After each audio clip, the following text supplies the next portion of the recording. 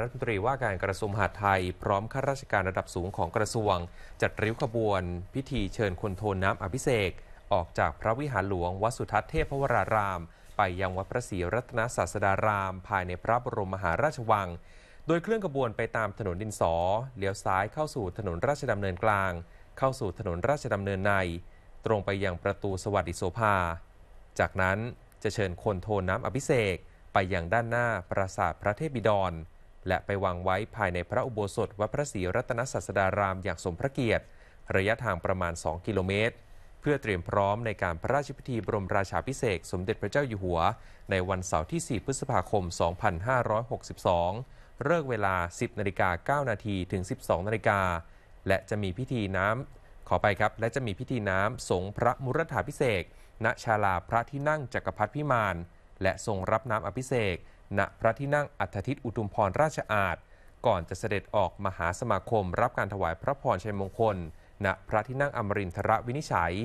โดยตลอดสองข้างทางมีประชาชนร่วมชมริ้วขบวน ซึ่งจัดขึ้นอย่างสมพระเกียรติ และถือว่าเป็นความภาคภูมิใจของคนไทยทั้งประเทศ ที่ได้เห็นพระราชพิธีสำคัญทางศาสนาที่หาดูได้ยาก และมีความสำคัญกับคนไทยทั้งประเทศ และตั้งใจจะเป็นคนดีของประเทศ ทำความดีเพื่อถวายให้กับรัชกาลที่ 10 อยากมาเป็นพิเศษอยากมาค่ะ มาตั้งแต่ตีห้าครึ่งแล้วค่ะ ที่วัดสุทัศน์นึงค่ะ แล้วก็เดินมากับหลานสองคนทุกครั้งไม่ให้ขาดเลยค่ะ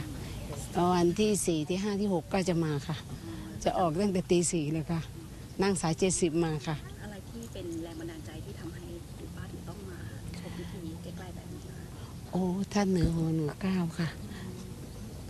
แบบมีความสุขมากๆ เราพูดไม่ออกค่ะ เป็นปลื้มค่ะ ไม่รู้จะทำยังไงขอขอให้ได้มาก็มีความสุขแล้วค่ะ ป้ามาตั้งแต่ปีสี่ไปร่วมที่วัดค่ะ แล้วก็เดินตามขบวนมา เมื่อวานป้าก็ไปสวดมนต์ดีใจค่ะ ที่ได้มีโอกาสได้มาในพิธีสำคัญ อัญเชิญน้ำ เราอะไรที่มันเป็นแรงบันดาลใจให้เราถึงต้องมาชมพิธีใกล้ๆแบบนี้คะครั้งหนึ่งในชีวิตครั้งเราก็คงจะไม่มีโอกาสอีกแล้วนะเราเป็นเราเกิดมาเนี่ยสองแผ่นดิน เราผ่านไปหนึ่งแผ่นดินแล้ว นี่แผ่นดินนี้ก็คือ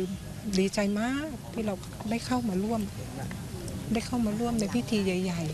ๆ เมื่อเช้าก็นอนไม่หลับก็มาตั้งแต่ตีสี่ก็ ไปนั่งรอขบวนที่วัด ก็ได้ไปนั่งชมบารมีคอนโทร